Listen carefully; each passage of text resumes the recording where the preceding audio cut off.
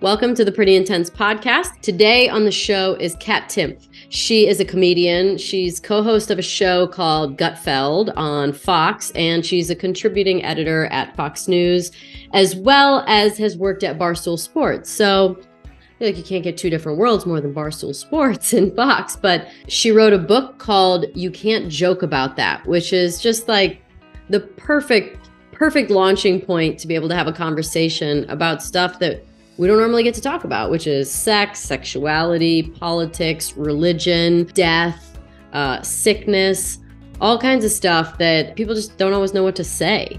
And the most important thing is that we have this opportunity to be able to talk about stuff like that because it's through talking about it that we start to understand it. We understand each other and we're also able to process the the challenges of those aspects of life because they for sure have challenges. They're a big deal. Enjoy this conversation with Kat. Go pick up her book. Please hit subscribe and the bell for notifications. And in the comments, let me know what you think. And also, maybe like, what taboo topics did we miss? Enjoy. You just got off air. Do you record for Fox during the day?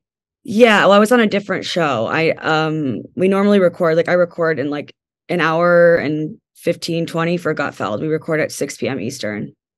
Mm, got it. How much do you do you write a bunch of stuff for that or do you have a lot of producers that write everything or do you No, do I I I mean all my own stuff. I write all my own stuff and I write some stuff for Greg too. Like I usually write a segment every day. I took off writing when the book first came out like the first month and now this week I'm back to writing.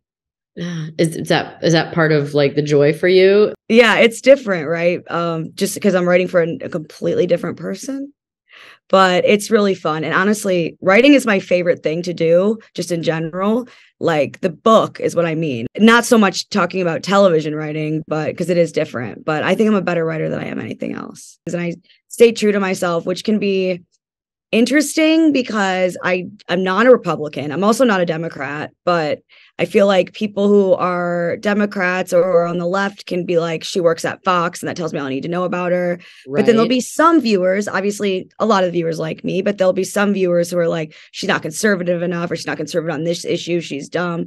So I just kind of feel like, what's the point of having a platform just for the sake of having a platform? Um, so I'm always just going to say what it is I actually believe. Yeah. Yeah. Well, one of the things I want to do with you is like go down the line of all the shit that we're not supposed to say because mm-hmm. your book is you can't joke about that. So yeah. I thought the most funny way to do that would be to talk about all the stuff we're not supposed to. So let's just take off with politics. You know, I've thought to myself many times, I'm like, why is there Democrat and Republican? Why can't it just be that you just listen to who's running and then ha- then you actually have to listen instead of just following along with a color you you listen to what someone says like would that even fly? Like how come it's not like that? Why does it have to why do you have to pick a side? Yeah i, I see i refuse to pick a side but i think that what the two party system does is it kind of allows for corruption because people are always going to defend their own side or they're always going to say okay well what about what that other person did? That the, on that other side is worse. And that's how the government on both sides gets away with so much stuff. I mean, you can take the exact same news story and talk to someone who's Republican and talk to someone who's a Democrat, and it's like they didn't read the same thing or they it, it wasn't the same event that they're talking about. And um, I think if you just think in this binary way, you don't really have to think at all because then all the thinking is already done for you. You don't mm-hmm. have to think, where do I stand on this issue?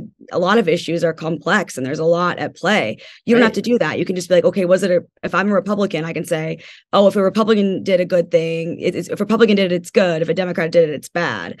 Um, and so that's actually the enemy of critical thinking because you don't have to think, which is easier, but obviously results in some pretty stupid outcomes sometimes.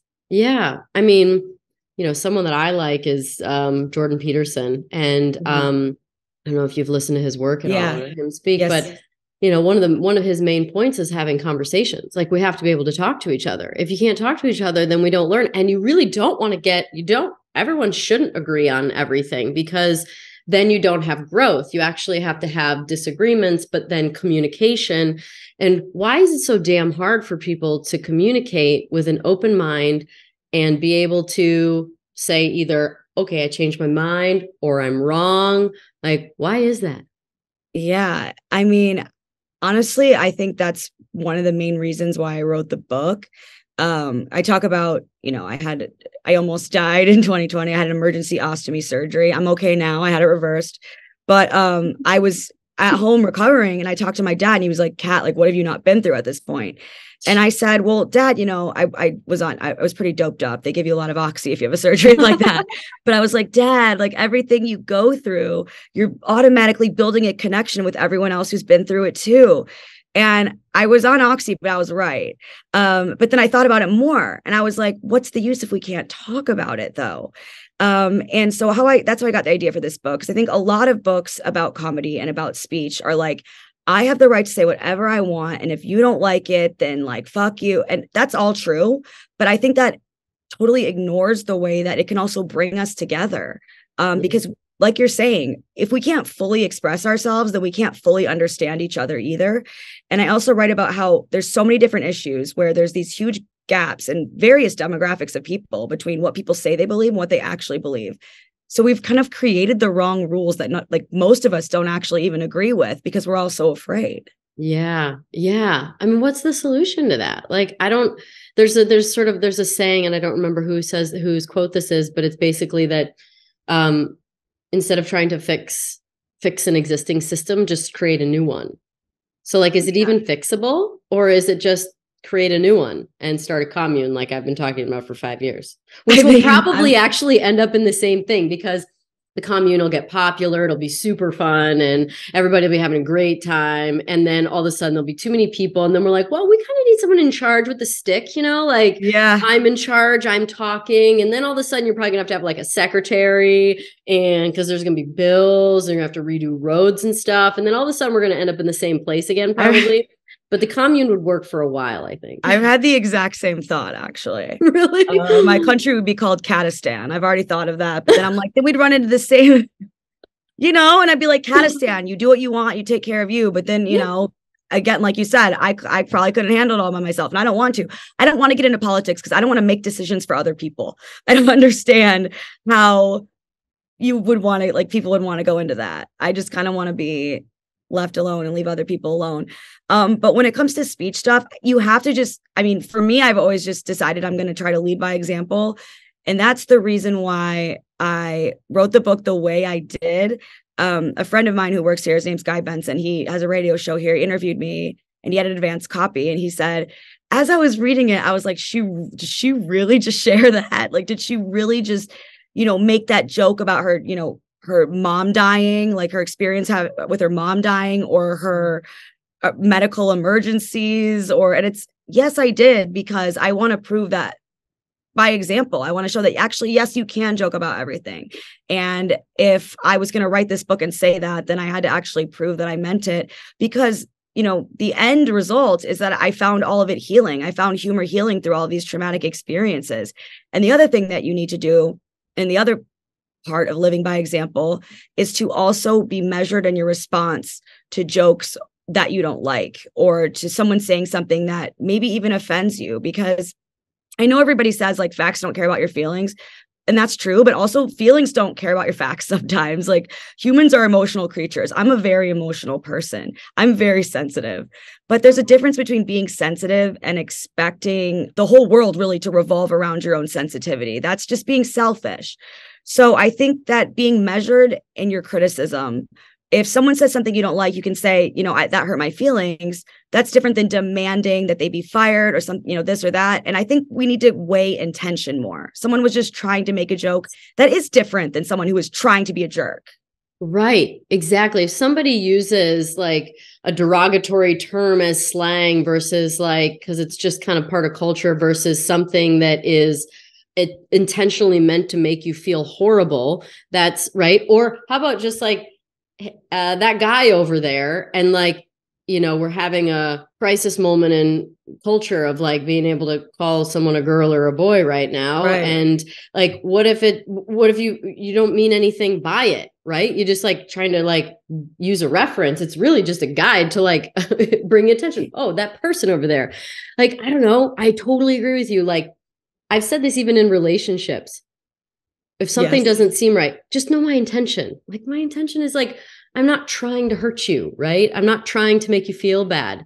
What what is the like I don't know I I I think identity politics is a huge problem right now.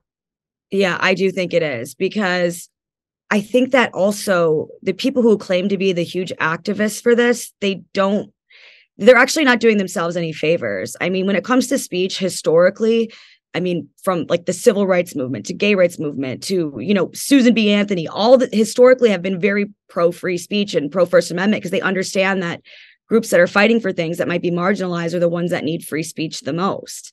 And also, let's say, like going back to the trans thing, let's say your main issue, the thing that you care about the most in the world is trans activism. And the last thing you want to do is treat somebody who, for example, does what you did and acts, you know, maybe accidentally says something that hurts somebody's feelings and be like, okay, that's it, you're a transphobe. Because then people are going to stop asking questions. And there's not like there's a very small percentage of people that are trans. So a lot of people have never met a trans person in their entire life. So Yeah. If you really want people to understand your cause and understand people and you have to be open to having people talk about it without being afraid to talk about it. That's so true. While there's a healthy amount of awareness that could be created, yes, I think there's a dark side of people wanting to have an excuse and be to be a victim. I absolutely think that that has to be the case, right? Because I mean, there's really, I mean, I, I there's this new idea that like I'm white and someone else is black, then that means that like I there's nothing that I can say that could be relatable to that person, which is crazy because I don't know what it's like to be a black person, obviously, but that doesn't mean that as humans that we would have nothing in common. And there's this idea now, even with jokes, that if it draws on, you know, an experience of a woman, meaning a biological woman who's born a woman is still a woman, then that somehow excludes trans people. Just because it's not about you doesn't mean it excludes you. It's just not about you. And it's it does apply to a lot of people and there should be uh, you know an outlet because there are unique things that come with being a biological woman like you have a period and you know you worry about eh, different things than biological men do that's not excluding anybody because you can also then use your own voice to share your own experience. And what we've done now is like you said maybe people like even talking about blackout just people like then they just don't talk about race at all or you're like afraid like that's not a good thing either. That's the last thing people should want. And especially when it comes to jokes when people are trying to make a joke they're trying to make people laugh so the intention there is good and especially with comedy, the only way to know if a joke works or not is to try it. Because there's been times so when dangerous. Is It that is dangerous, nerve wracking as hell? hard. it's you can't tell. I mean, it's part of doing it's I mean, I I've done stand up on and off. I'm not really doing it right now. kind of doing live shows that I'm getting back into that are like half stand up. So I'll, I'll probably get back there again because it's hard to quit once you've done it. But really? uh, Why? you don't know. You can think something's so funny in your head, and then you go on stage and you're like, oh, that didn't work. And now the penalty for that is like your whole career's over. And yeah, right. you don't know because you don't know how it's going to come off or how people are going to receive it because we're all different. And if we make people too afraid to try, and what's going to happen is, let's say you don't like this one joke, you can be like, like I was saying earlier, you can be like, okay, that it hurt my feelings and leave it at that. But you have to keep in mind that you have to be measured in your response because you might be making other people afraid to make other jokes that might be about subjects that really resonate with you that you might need during a difficult time in your life. Sure. I mean, I I agree with you. You said a few minutes ago. You said that you know humor is is healing, and I think a big aspect of the healing, from my perspective, is that you start talking about it. You just get it out there, which is why it's so good that your book is about talking about stuff you're not supposed to talk about. Because Yeah. no matter what it is, when we don't get it out and we suppress it, that sticks in the body and becomes disease. That becomes um, a projection when someone makes a comment or does something because you've got something sticky in there. And when you just joke about it, you just you get it out and you start clearing the air and we can all we can all laugh and you can and you it's like a form of processing it. And so like I feel like the last Mohicans are comedians to being able to you're like the last line of defense to being able to say I'm going to say just about everything.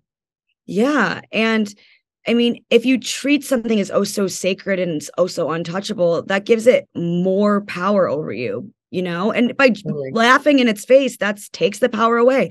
I first started doing stand up i mean i talk about this in my first chapter where i was living in LA, things were not going well. I was very broke. Uh, I lived in like this horrible apartment where I, I, slept on a yoga mat. Then I lost the apartment and I was living with this bartender that I was like sort of seeing from my waitressing job, but not really. And, you know, I'd explain to him, like, we're not really together just because I need to live here. Like, I'm going to be me my spirit. Like, it was a disaster. You know, I'm like 22 years old. I didn't know anybody. The only people I knew were like my cat that's still alive and then my, you know, ex boyfriend who had broken up with me. And so I started getting on stage and telling jokes about this stuff. And it wasn't that the stuff was funny, right? But I was able to poke fun at it, which gave me, I felt totally powerless the rest of the time. That was the one time like I felt like I had some power. And then hearing other people laugh was my only means of connection through that time. So, I mean, I, that's just kind of how it's been throughout my entire life because I think the what it's get the, what can make something worse if you're going through it and it's hard is when people are weird around you if they know like you're going through something bad. Like after my mom died, people are like scared to talk to me. I'm like, that's not helping. If we like look at this mm, comedians next to politicians or sorry, not politicians, news people. That's what I mean. But if we use politics as the platform, it's like comedians can joke about it. So you're in this really cool spot where you're on the news essentially but you're a comedian and you're able to joke about stuff. So why, I mean, where does it fall with people in news being able to have an opinion? I mean, obviously, the Tucker Carlson stuff happened, and I mean, both Fox and CNN um, getting having people get fired. So, what, what, why it? Where do you see there being a pathway for people in the news to be able to just be honest? It doesn't, and it doesn't have to follow follow a color or a or um uh, a belief system based on the channel that you're on. Like, can we ever get there? It's tough, and I like I have absolutely no idea what happened with the Tucker thing, which is why it's like my book came out the same week, and everybody's like, "What?" And I, I really don't know. But just overall, I think that I can understand sometimes how people can get tempted to be like, okay, I have this audience and they love me. And also, okay, I'm making money because this audience loves me. So what how what if I say this thing that my audience is not going to like, but I believe it to be true? for me, I've just I've led with fuck it like every single time and I don't care. I mean, I work at Fox, but like I'm I'm agnostic. I'm not Republican. Um, you know, it's like, but I'm also, you know, like I'm pro Second Amendment. So I, I I'm all over the place. So it would be issues wherever. Yeah. Um, but I'm also like, you know, I'm like for the legalization of drugs and I'm for the legalization of sex work. So I'm not like, I don't really fit into a box. So I know that no matter where I went, there'd be issues, but I do believe people are unique individuals. And I feel like nobody can really fit into a box perfectly. Right, right. And I, I saw Elon Musk got a bunch of shit for what he said about, you know, George Soros, which I don't really care that much about what he said so much as what he said after, which he said, well, if I lose money for saying what I think, then so be it. Now he has a lot of money. So right, he can afford it. The reason why he's different. okay with losing millions is because yeah. he's got them. Exactly. But it's just crazy how remarkable it was to see somebody say that. Like, I'm telling you, I don't care. And it would be better if more people were like that because I also think social media has something to do with it. Like, you could be on TV back in the day and people could hate you and you wouldn't really know. It's like mm-hmm. now I know every single person what like what all these people think about my body, what they think about my marriage, what they think about my face. It's like I know I have a big forehead like but they can get into you like and they're like I I liked you and then you said that about this. It's like blocking you. I'm done, never again. And I used to not look at it and I've kind of fallen back into looking at it and it's really toxic. It's really toxic for your your mind, body and soul to look at it. Yeah. But it's also impossible not to. And I think that that can really lead to it too because you you worry like I'm going to upset this mob, but then you also realize who are those people? You know? Bots. No, right. Some of them are. many of them but are yeah, bots, they're but- assholes. I just picture them fat in their parents' basement with a bag of Cheetos and a Mountain Dew, and they're like miserable AF. That's what I picture. Yeah. When people are nasty, I'm like, I feel bad for them. Yeah, I know. It's like I've I've watched TV for you know, not to brag, for many decades now. I've been watching TV. And I've seen people on that. I'm like, oh, I don't really like that person or what they have to say. I've never been like, okay, better let them know. I'm gonna get out my. I'm gonna go tell them. And then while I'm at it, I'm gonna say that they're ugly and they're this or that. Like I, I don't. So you have to, you know. But it can feel overwhelming if you look at all these, you know. But it's like that's just a small percentage of the population. And what percentage is that? And like those aren't normal people that I would really want in my corner anyway just like when you look at social media and you see like super perfect hot women and you're like god and you feel so bad about yourself because everybody everybody's so beautiful and i like i've said this to my friends before but i think it's myself too. I'm like you know i walk around in life and i see almost no women that look like that. None right? When i do my own life beta test on that i'm like yeah. yeah actually yeah it's bullshit. There's there there there's like none of them. There is almost none of them which means yeah. that there's either almost there's almost none of them and they're fake because they yes. just use all of the all of the apps which that's a good point. Yeah it's like the exact same thing in the reverse because yeah it's like they there's apps that can give you like a whole entirely different face. It, it is tough though and i think that we really are in a tough spot where people are so afraid to speak and pe- everything is so polarized. I, like I feel like if I have this platform, I just owe it to and it's like i'm not religious so i don't i don't know what i owe it to but i wouldn't feel right about so if i've gotten shit for things i've said before but yeah. and it can be tough but i don't know how i would deal with it if i knew the shit i was getting was for something i didn't even believe yeah that i just wanted to like make money off of or make people happy and fit in with the brand i that i couldn't deal with at least i can say well i said what i felt and i always know that i was true to myself you were saying like you're confused, you know, why you're doing it. I- am gonna bet it's because it's changed your life.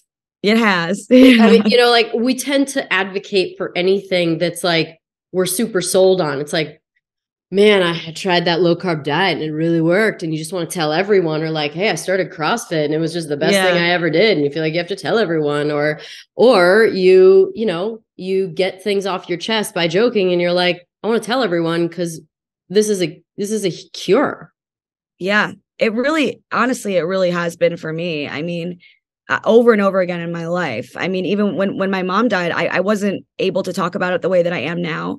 I had a really hard time talking mm. about it because, I mean, I just turned 26. I had just gotten the job at Fox like a few months right after she died.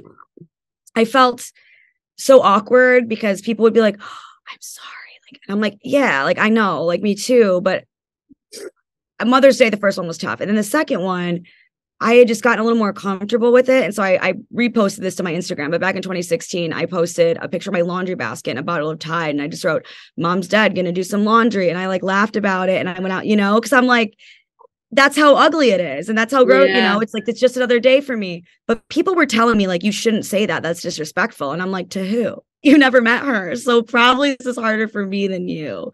And then I think that just shows when we treat like subjects as sacred just because we're supposed to, we actually end up hurting people. Yeah. And the same people that they're supposed to protect, like in that situation, me. Yeah. Yeah. What do you wish people would have said to you? I wish they would just say that sucks or ask me a question about her. Or if there's someone who I knew to like tell me a story about her. When someone gets like about it, I just say, it's okay, you didn't kill her. And then like it lifts lightens it up a bit and then they i feel like they can talk to me like a normal person again. Well you you disarm the situation. Yeah. Right? Yeah. Which that's what it know, does. it is it is probably a little easier when it's a complicated concept for someone to make a joke but you know it doesn't do any good to not bring it up. What are some other things that you feel like you wanted to bring to light that people have such a hard time talking about my chapter five, which is called shitbag. So I had an emergency ostomy surgery during in 2020. Um, it was like a fluke thing. Um, it was an emergency surgery. I had the bag, and as I was getting wheeled into surgery, I was like, "Oh my god, what am I going to tell people?" like, I almost died, and I was like, "This is so gross. People are going to think I'm weird. What do I do of all the traumas I could have had? Why is this trauma so niche?" You know? And I, yeah. And I didn't tell anybody. I mean, I came back to work and I had the bag for five weeks and I just was on air with this poop tube and I didn't tell anyone. Where'd you put it? In the front? It, in the back? it's right, right here. It's like right, it's it's like right below your rib cage, like your intestine comes out. So I would have to just be very strategic about what I wore. Um you could hide and, it and even. Like, what? You could hide it? It could hide it. Yeah, I could hide it. But I would So have it to, like, wasn't at- just like the American people couldn't see it, but like people at work couldn't see it. They couldn't see it. I was I wore like really baggy stuff. Like Greg knew, but most people didn't know. Because I was like, I don't want to be weird. And then the second surgery, I had complications where I won't get like super graphic, but like a staple was loose and it was all like the blood was all coming out of my ass. That's like the most polite way I can say it. Hmm, Diapers. And I write about it in detail in my book. And they told me I needed a transfusion. And that day that they did that was on January 6th, which is like, that's funny, you know? Because I'm like, my friend there who's he was my flower girl in my wedding, a little gay gymnast boy, he's my best friend. uh, You know, Oh, he's there. He's like, whenever anyone asks you where you were, like, you'll be able to tell them you were doing this is what was going on. And I'm like, this is funny, but I still, people were like, so I was gone for two weeks and I didn't know what to tell people because I still was like, this is so weird. I don't know what to say. It's like so gross. And then I was like, okay, you know, uh, my uncle, I told the plot of The Lion King as a, in a statement without saying Lion King. 'cause I didn't know what to do. And then finally, when this book came out, or as I was writing this book, I was just curious and I thought more about how like people have died with cancer that we didn't know they had, like Norm MacDonald, like Chadwick Boseman. And it's like, oh wow, they didn't want to be treated weird, is what they said. And then I Googled the words on a hunch, cancer, and then how to tell people I have cancer. And how to tell people people I have cancer had way more results. So I all this research also backs up that talking about it in a humorous way when you're terminally ill is actually ranked higher in terms of being more helpful than solemnity and even actually more helpful than physical medication pain relief. totally. Yeah. mhm. That last the one was a small energy. study, but yeah, it's crazy. I'm a little bit of a hippie, hippie spiritual guru and uh or or like into it. Um Yeah. and uh like i believe in energy a lot and so like just the the positive energy and frequency of laughing is so beneficial to the body that you know i it does not shock me that there are stats out there that humor um can be even more beneficial than medicine Yeah. And making, and they say it makes people feel better. So I think that's another one because people are like, oh, but you don't mean illness. I'm like, no, I do. And like, you don't mean death. I'm like, no, I mean, I, yes, I do. And um, it's been really healing. I mean, the first time I ever talked about the bag publicly was when the book came out. So Mhm. a lot of people at work like realized they were on TV with me during that time and they had no idea. But it is really healing. And that's why my last chapter, I write about how comedy is actually a sort of religion for me because it has a lot of the same healing properties as, you know, physically, but also emotionally as religion does, and the way it can add meaning to experiences. Because, and I write in the book about all these things that almost destroyed me. And I was able to actually create from those things. Yeah. Obviously it doesn't offer eternal life but it has a lot of the other same properties. I know. I'm still hoping to figure out what what happens with that one but i think it needs the forgiveness right? Most religions have a pathway to forgiveness. And um, i was catholic for a long time so i know enough about the bible and christianity and catholicism and so leviticus is like the least chill book in the bible or one of the least chill and even that one is like an eye for an eye and what we do now with comedy and jokes is actually even worse than Leviticus because if you ask somebody, I don't care how into this, you know, identity politics they are, and you said, name a few of the worst things that have ever happened to you, nobody would actually say it was hearing a joke that I didn't like. But some people might say it was telling the wrong joke. So if we're being less chill than Leviticus, I think that we really need to fix it. Oh my God. Yeah. I mean, we would uh we would be missing a huge uh taboo topic if we didn't talk about religion a little bit. Yeah. Um, so you were a Catholic, right? Is that is that correct? I was so Catholic. I was an altar server. I did bread and water fasts as a child for the souls in purgatory. like Oh. child abuse. Dude, my mom was so Catholic. It's crazy. Like she would put like Benedict medals over all the do- I write about this in this uh, over the doors and like to keep the devil out. So I grew up being like scared of the devil, but I also thought I had this like benevolent being looking out for me. So maybe that's why like I've been pretty needy in a lot of my relationships until I got a lot of therapy because like nobody can be God. But um I I fell away from that for several reasons. I mean, I was so Catholic. I thought I was going to like I would go to confession and tell the priest everything like that I was doing that was bad even if it like when I got older and the sins were like you know weirder things to talk to a strange old man about Mm. and I yeah I truly thought I was going to hell and I fell away from it for a few reasons, partially because I don't agree with a lot of the stuff that like I don't feel like if you masturbate and I write about this in the book and you like crash your car on the way to confession that you should go to hell forever. Like I think that's a little it's like not cool. And I also really just make a lot of sense. No, it doesn't. And I also feel like and I do actually I have a lot of my mom's family that is very Catholic and they've had a hard as I talk openly about this and they have a hard time being like they think I'm going to hell because I'm not Catholic anymore. And they will really go in on me. And I'm like, but you love me. You're capable of loving me, even though I'm not. So, like, wouldn't God be capable of loving me? Um, so I, it's religion is definitely a taboo one, especially, you know, for me to talk about. And it's just, you have to, because I kind of like suffer. I thought it was so bad for a long time. Uh, well, I mean, that right there is one reason to be suspicious. If something makes you feel so bad all the time, how can it be that good when we're literally just finishing a topic about laughter is healing? It's like guilt and shame are literally the lowest frequency energies that you can emit. I was dating this guy and he was Christian. I made some funny comment about it was like some it was like the Jim Carrey moment when he was on the red carpet and started talking about tetrahedrons and oh we're just dancing tetrahedron. So I was repeating that and and he was like oh we're gonna get her to talk to the priest and straighten her out or talk to the pastor and straighten her out talking about me and I looked and if looks could kill I was a newsie for sure. I was so when I talked to him I was like so you're telling me that because it actually happened. Um, so I'm like, so you're telling me that if there's like a kid in another country that has never read the Bible or heard of it or doesn't have any idea, but they're like a really good kid and they die, they're going to hell because unless you believe in this story, that's the only way you get to go to heaven.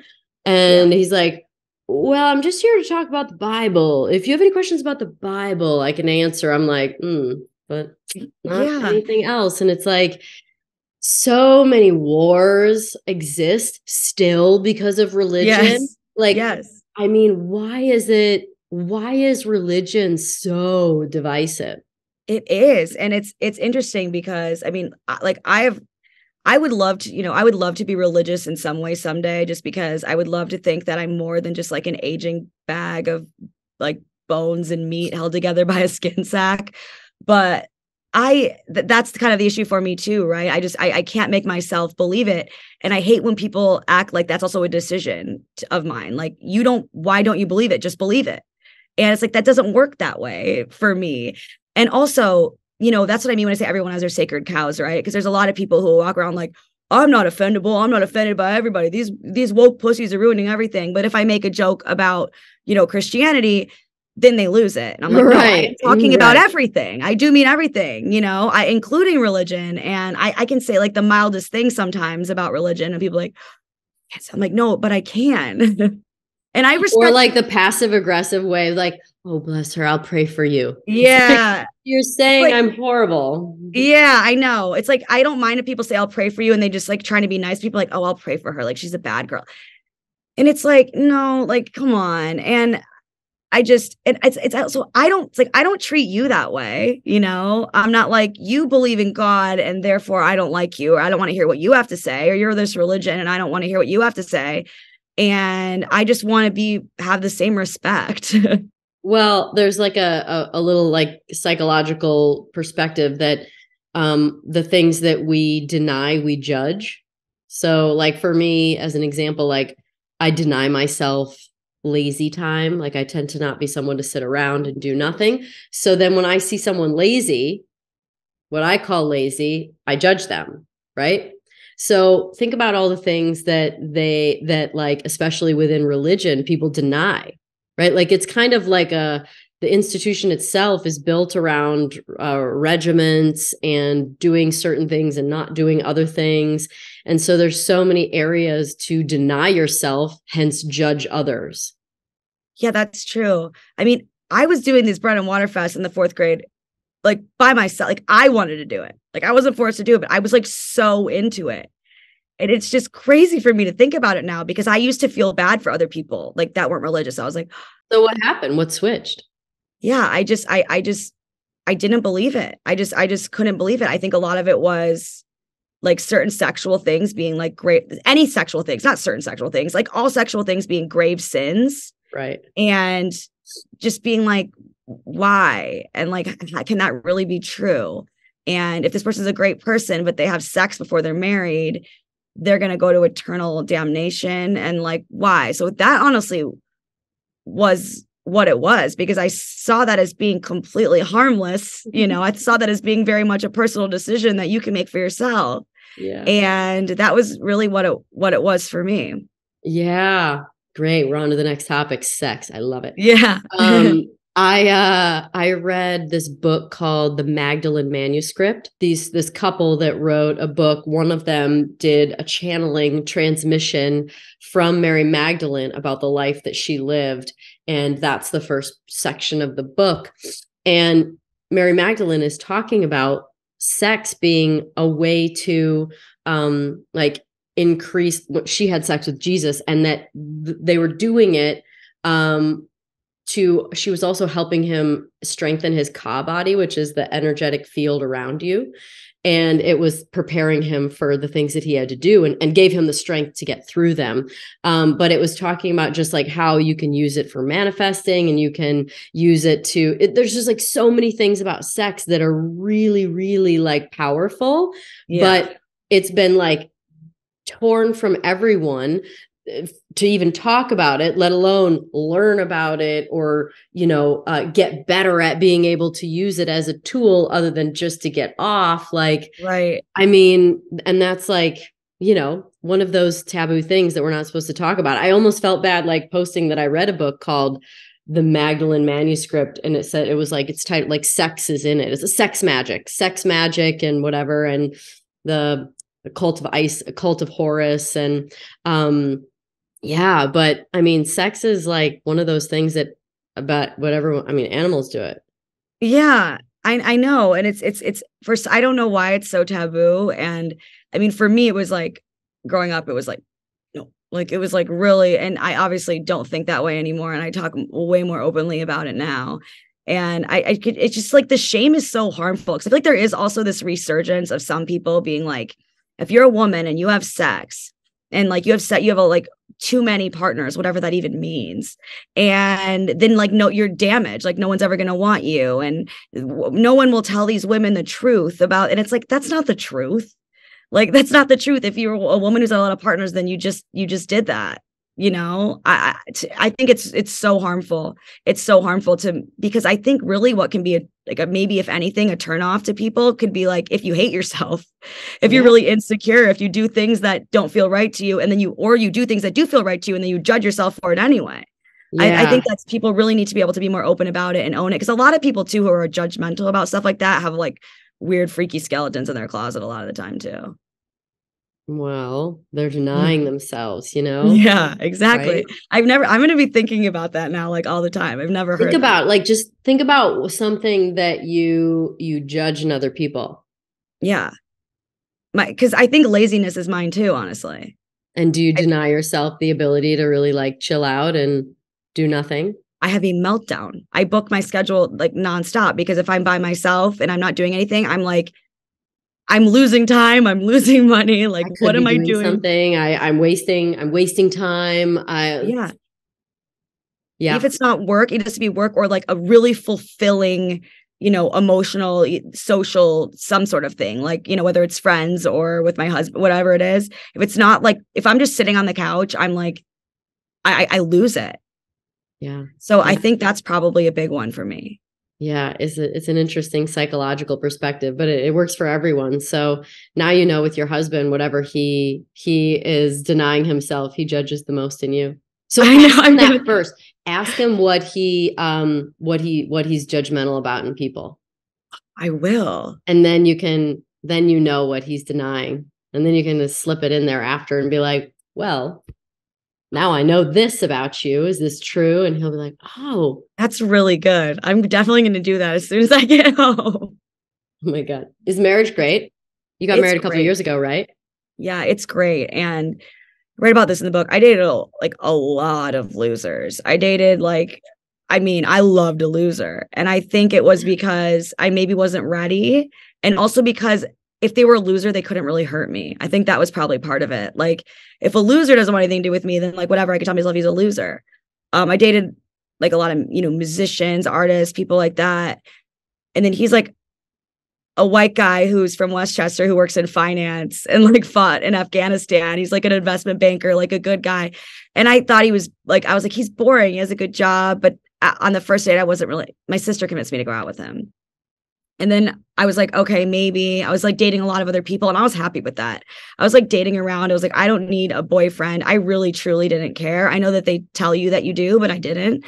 And uh, then the second date, my sister was like, just go out with him one more time after I canceled two more dates on him. He showed up and he was like, yeah, he showed up. He was wearing like a sweatshirt and like he hadn't shaved. And I was like, he's hot. And then we actually never spent another night apart. We moved in together at like four months. Really? Yeah. Damn. Because dates usually get like, I realize like if you get past the third one, it's like the third one, you either never see him again or it's on. Yeah. And he's yeah, it was on. I mean, he's again, he's like my polar opposite. And he's just so like cool. I mean, he's so patient. I mean, he he's to be, you know, the husband of somebody who does what I do, it takes somebody who's really strong and certain in themselves. Like, for example, I my live shows, I my, my live show in Chicago, I was talking about, or I mentioned how he still had sex with me when I had my shit bag on. And I'm saying this while he's sitting next to my dad. you know what I mean? Like, so it's like I write in the book and I'm like, here's a copy for your mom. She's gonna know you banged me with the bag on. Like he has to be very, and he never, ever, ever is like, don't, I wouldn't share that or this or that. He's like, you do you. He's like, this works for you to do you. I'm I'm I have no right, nor would it even be smart of me to think that I know what you're doing. You knew what you're doing. And so he's very secure and cool in himself, which if I always thought like a guy like that with that kind of resume couldn't be like chill. Yeah. Wow. They yeah. say that there's like 13% of the population is securely attached versus the rest of the people are either anxious attached or avoidant. Yeah. And I'm like, 13%, really? I don't even believe that. Like, I'm not even like, I'm anxious, but I, I'm aware, I think. So I'm like, what I'm doing right now is wrong and I need to stop and I need to apologize. I'm really self aware. I think a lot of people are not self aware. Yeah. I feel like you are really good at um, doing things that make you uncomfortable. Yeah. I do. Where does that I, come I, I force myself to. Yeah, where does that come from? You know, I think because my biggest fear is to have not accomplish something because I didn't try or because I was too afraid to put myself out there. And also because I have failed so many times. And if you do stand up and you just like have a hot bomb, you know, I set I'm I'm obviously most of my sets weren't bombs or I wouldn't have kept doing it, but uh you know, it's like, okay, that's the worst that can happen. And you kind of move on. I think it's way worse to never try. And that doesn't mean it doesn't hurt, but I, I always, I mean, I used to do these man on the street videos. I worked at Barstool and I did man on the street videos that in like some crazy locations. Like I went to a Juggalo convention in the middle of Thornville, Ohio, and it was a much smaller operation at the time. It was just me and like some, this guy, Paul, uh, this his name's Gaz. He's like well, actually one of the shareholders. He just he was the camera guy and he had like these salmon colored shorts on. And it was like people were it was like a scary environment. But it's like you have the scariest thing to me is to not be scared because then you don't grow and then you never will know what could have been. I hope you write about that in the book. Did you write about that too? I do. Yeah, I do. I write about that in the book about how safe spaces aren't real. Um anyway, because every different person is going to have a different idea of what that is you know um one person let's say somebody people were someone was raped. Someone might have their safe space be somewhere that that's not going to be brought up. Another person their safe space who was also raped might be to be able to make jokes about it and talk about it. So it's not real. And there's also research that i write about in my book that shows that you know that there's these positive feelings and growth that can come from feeling uncomfortable that can only come from feeling uncomfortable. So you don't just feel good but you feel good in a way that only being uncomfortable can do for you so, I mean, if I think back at all these times in my life that were the most meaningful milestones, I mean, like they were all, a lot of them were really scary things. And they didn't even have to be trauma, but even doing stand up comedy is really scary. Yeah. Or, you know, deciding, okay, I'm going to, I can't afford grad school, so I'm not going to take out a loan. I'm going to stay here in LA and, you know, try to do internship. That was scary. All of the things that have been the most pivotal moments of my life were the scariest ones. And um, that doesn't mean I'm not freaking out because I am anxious and I do freak out the entire time, but I just say, let's fucking go. And I do it anyway. Let's fucking go. Everybody yeah. write this shit down. Let's fucking yeah. go. And let's and just like go. do the shit that scares you, right? Like I totally agree with you. What was the environment at Barstool like? Was it Uh, how many years ago were you at Barstool? I was there like 2016, like 20. Yeah, it was totally Probably, different. Like, yeah, different office. Like Dave was there, and right. it was a different office. I had a podcast, and I and I would be in like once a week, oftentimes when like nobody was there. Yeah, but I mostly did like these videos in other locations. Like I went to Cancun spring break and asked people political questions. That was a really funny one. And like the audio quality, the video is so good. It's so funny. These kids are insane. Like they're wild, but like the audio quality is shitty because it was such a smaller operation when I was there. But I went back recently to do some of their shows just because my book's out and stuff. But it's funny because it? I, I, was there like way back before they were anything. But they're cool. Like I I, I like you know I I like doing their stuff. Yeah, I've been there. I went there a couple times for a couple of different interviews, and you always it's it's like I, it just seems worlds different than going to work for Fox News. Like you know yeah. what I mean? Like it's just you know we talked about crystals and you know, yeah. all kinds of like weird shit. Um, and we weren't, you know, like they just totally pushed the envelope and, you know, news platforms don't. so did you, do you like, like, do you like being at Fox? Do you like, what is, what, what's the biggest pro and con of let's say like Barstool and then Fox? See, I think that saying that I work at Fox is also almost misleading because sure. of, the, of the show that I do um because of gutfeld we do talk about all kinds of weird stuff. Um it is more like comedy focused. Um barstool was super fun and obviously like you have more leeway so like that's a, a pro but i also have found that i've had a lot of leeway at gutfeld. And as my book has come out and i've been able to do these interviews i have said a lot of things and I've not had a single phone call about how I shouldn't have said anything. So I think that that's pretty awesome. Um I mean, I think probably the biggest negative is just like the people think Fox is a monolith. And yeah. it's not. Like I've I've said this before, but it's also true. If I've been at a party somewhere and people ask me what I do and they don't know who I am, I've just said like porn I'm like, I do porn. And people are like, that's cool because it's less controversial than saying that you work at Fox News. Damn, that's so, so, funny. That's so true. Yeah. They're like, oh, that's cool. That's cool. And it's like, it's like, you know, if you'll ever see these people again, I really truly You're like girl on girl stuff. Yeah. And I'm like, guy, yeah, no, totally. bangs. Like, what are you into? I'm like, I'll be like, yeah, like I live in Puerto Rico. The tax, I have to deal with the taxes. Like, because it's like, if I tell people I work at Fox, they're like, and I'm like, they think that that tells them everything there is to know about me when actually there's people here who believe all kinds of different things. I mean, even like one of my best friends here who married my husband and I is Kennedy, who was, you know, an MTV VJ in the 90s, who has a show on Fox Business. And like, she's not what you would typically think of as, as a Fox person. Our show is not what you typically think of as a Fox show. And even though a lot of the people around me are certainly I mean, on Gutfeld, he's he's not like he's not religious either. He's not really super like socially liberal, or he's not really super socially conservative. I'm more so even more socially liberal because I'm very socially liberal, but I'm still me. You know, like even if I'm surrounded by people that might not agree with me, I'm still me. So I still have this platform. You touched on it a little bit early on about reading comments, but I mean, for a comedian, man, I mean, you guys are on the hot seat for sure because you talk about the most controversial stuff. So, was there an acclamation to that, or is is it just is it within you to say fuck it? It is, and also Gutfeld gave me some advice, which has proven to be true, which is that it's never going to be the thing you think it is, which has been the case. Um, my biggest issue that I write about, I, I go do a deep dive into this and um I forget, I think maybe it's the second chapter, third chapter. I I don't know. But the biggest one one of the biggest controversies was I made a joke about how difficult it is to give a cat like a feral cat medication because they have claws. And it was during a segment about Jimmy Kimmel saying that he was like taking some shows off. This was in 2020. And I did not realize that he had a son with a heart problem. I did not realize that. I remember reading the article and saying that he said everyone in his family was healthy. So I had that in my head. But I was like, oh, it's way harder. Like I was giving my cat heart medicine. It's harder to give a cat medicine because they have claws. Like kids don't have claws. Like making what I thought would be a funny, relatable joke to people who are also childless about how, like, for some reason, kids are the catch-all excuse for anything. Whatever we were live and we never do the show live and we actually haven't done it live since then because Greg was like I would like to just remind you that he has a and I was like I just died inside. It actually made it on the watch people die inside Reddit page. Like it was bad.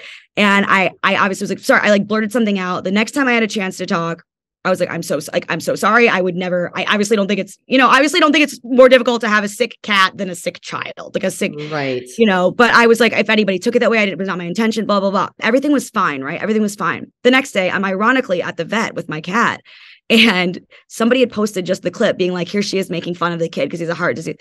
Everybody was like, "I I had trouble getting out of bed. It went on for days. Like his sister told me to fuck off and die. People were like, kill yourself. Like it was really bad." And it's like I if I going back to what we were talking about earlier, if I would have actually been like, you know what, fuck kids with heart problems, then I would have deserved all that. But it was an accident. I was talking about my cat. I didn't even like there was no kid in the conversation as far as I knew. Right. And um I thought I had no idea that that was going to be that. So it's like I and then that resurfaced on Reddit again. It happened again. So I'm always like I can't go into every show being like is this going to get me in trouble because I won't be able to do my job A and B it's never the stuff that I think it's going to be. Right. Like look at the three minutes of worth of interview versus the th- 13 seconds that is out there. Um, so what's the magic to being able to talk about taboo, off limits topics? Like how do you make a joke? Like how could you how do you make a joke about that? You know, how do we yeah. how do we formulate a joke about sex or politics or religion or death? Like what is the magic formula? There is no magic formula. That's the issue. Is is um so I, I talk about how comedians need to have the right to swing and miss and like that story I just told you an example of a really big miss. that was a very big miss. Um, but there's also, you know, I think it's just you have to talk about it because otherwise you're making it really sacred and giving it more power and making it even more scary than it already is. I have found it to be helpful. I've seen other people find it helpful. And if the biggest worry is that people are going to get mad at you for trying to heal your own pain or the pain of other people, then that's the wrong way to look at it. And you have to just remember that. Um, and also, you need to also remember that you like the jokes don't have to be funny necessarily. For me, it's my job. I'm supposed, you know, I, but I'm just thinking about my husband. Like he's not funny, and like thank God, like he makes me laugh, but he's not like a funny guy. Which thank God because I'm the funny guy, and it works better that way but um he has been able to you know if i i was struggling with certain things in the in the pandemic just i i don't do well. Like we were talking about when i don't have things to do and i have places to go i was like melting down. And he was making fun of me about it in a funny light like in a lighthearted way. And it wasn't really good but it made me laugh. I was like oh this is something i can laugh at. Sure. So it disarms things. And the worst thing that can happen is that it won't and people might get a little upset but you have to just not care because what's at stake here is to have everybody lose the ability to heal in that way yeah yeah so what is what's your perspective on this whole cancel culture right now of being on the hot seat at all times for offending someone i mean you can't call someone a he or she anymore without possibly offending someone it's it's pathetic because and I really do think that's what it is. I think I mean there's so much discussion about old tweets, right? Like there was I wrote oh. about this in my book too like athletes like college athletes or whatever they get signed and they find back that like oh like you know Five years ago they said something offensive when they were like you know 15 or 17 or whatever like we all did and they there's all this conversation about how it wasn't okay for them to say this thing before they had a fully formed brain or even close to it and no conversation about who went and looked for those? And why did they look for those? Mm. and my suspicion is because maybe they're not where they want to be in their life and it's like okay maybe i can take down this person but that doesn't make you any more successful yourself really. And i also think social media removes humanity in a lot of ways. Mm. Um it's so easy to pile on. You yeah. just you could just quote tweet and be like this or wow or whatever and then like you're like see i'm one of the good ones not like that bad one you don't have to actually face that person totally, and be like hit retweet or repost yeah. or yeah and you don't have to face that person who's like i lost my job like i lost my whole life you don't have to worry about that and yeah. also social media there i there's research in my book that shows that twitter facebook these posts do better when they have the moral grandstanding, moral emotional language. The engagement's higher on those posts, which is very different than real life if you think about it. Because if you had a friend like that, that was just preaching nonstop in a condescending way all the time, you wouldn't invite that person over anymore. You'd stop hanging out with that person. But on social media, that's rewarded. So I think that that's a, a huge part of the issue. What do you think the transformation with those platforms is going to be? Because it does seem like they're they get controlled a lot. They get um uh you know their the posts get removed. I mean, I had one picture. It was like a a carousel like 10 photos back in Indiana last summer. And in one of the photos, my sister has four kids now. One of her kids was two, and we were at a like a, a, a lake and a river in Indiana, and she was naked. She's two, and we're in the water.